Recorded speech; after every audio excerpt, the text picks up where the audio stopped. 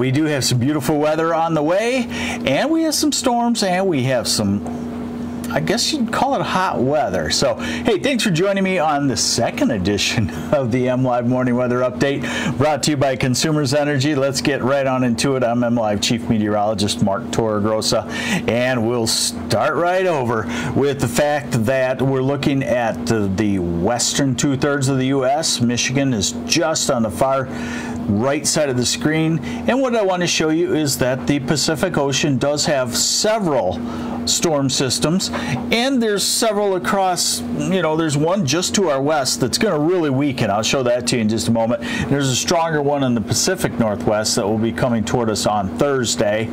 Um, as far as severe weather goes nothing outlined for us just yet fortunately this is uh, tomorrow or today into Wednesday morning. Uh, storms off to the west. And then Thursday, we are under a slight risk of severe weather. All right, so now let's look at the radar uh, short term, and this is where the beautiful weather comes in. Uh, here's our radar forecast through the day. A light shower in the UP, and as we get toward late evening, and overnight, a shower at most. Wednesday, middle of the day, great looking weather. And then we start to see our first disturbance heading toward us. Looks like for Thursday. Um, and you can see a different nature to the storms, uh, more linear, and that's what can produce severe weather. Not sure that it's going to happen just yet, but it's the kind of situation. I don't have any really big, strong uh, feel that something significant is going to happen just yet. We'll have to see how it lines up. So now here's the big picture. And here is the Thursday. We'll look at it a little closer. Here's the Thursday cold front. It's coming through in the late afternoon and evening in the southern part of the state. That says uh, the possibility of uh, severe thunderstorms. Hey, good morning, Nick Schweitzer from the Orchard. Hope you're doing well too. Hope your uh, fruit is doing well.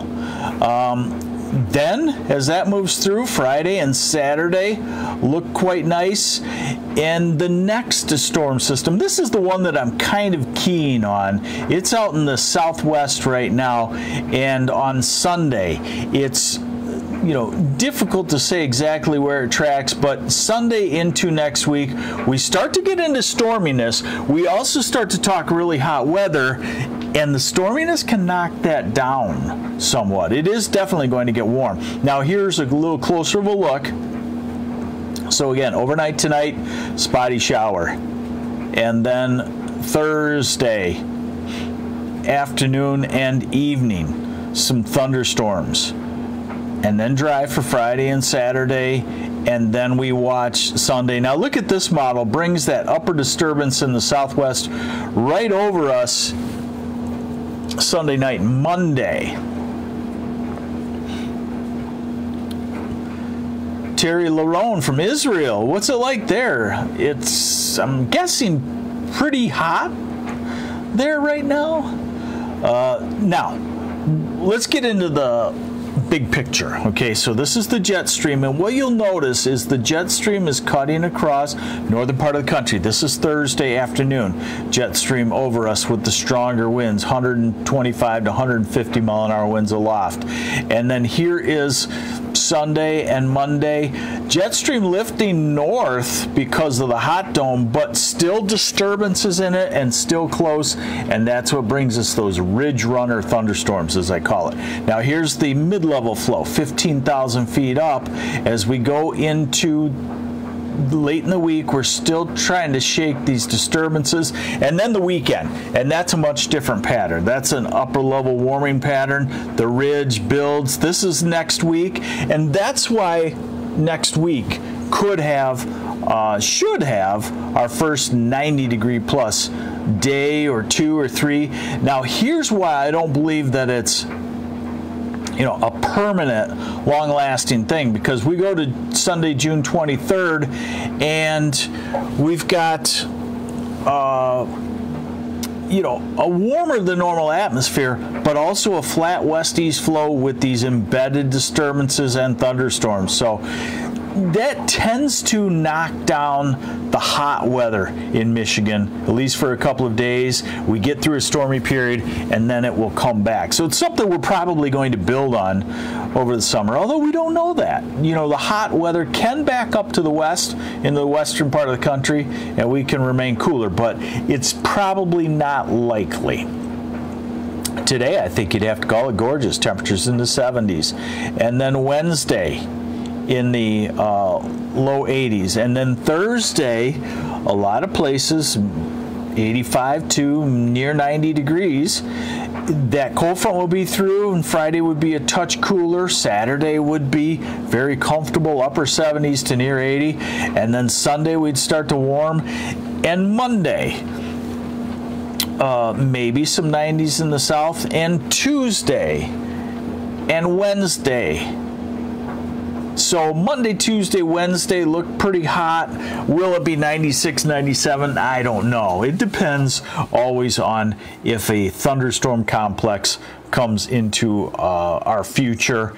It can knock the temperature down. So I'm just going to say it's going to be very warm to hot but we'll have to look and see. I, I, do think that the southern half of the state will have its first one, two, or three 90 degree days next week. Okay, six to 10 day forecast tries to indicate that. Uh, bullseye on above normal temperatures in south in Michigan, especially the southern half of Michigan, and the 8 to 14 day out to June 24th still continues high chance of above normal temperatures, and the 3 to 4 week out to July 5th still continues that as well, and the uh, hazardous weather outlook shows that excessive heat has a slight chance in the southern two thirds of Michigan and a moderate chance just to our south in Ohio and Indiana. So, it does look like it's going to heat up, folks. Um, it will be doing so over the next few days. Today's a comfortable day. Then we start to get into summertime weather. We'll watch the storms on Thursday. We'll watch the storms, I think, Sunday night or Monday is probably uh, definitely one to watch because I've got I've keyed in on an upper air storm system that's in the desert southwest right now. It's going to lift out.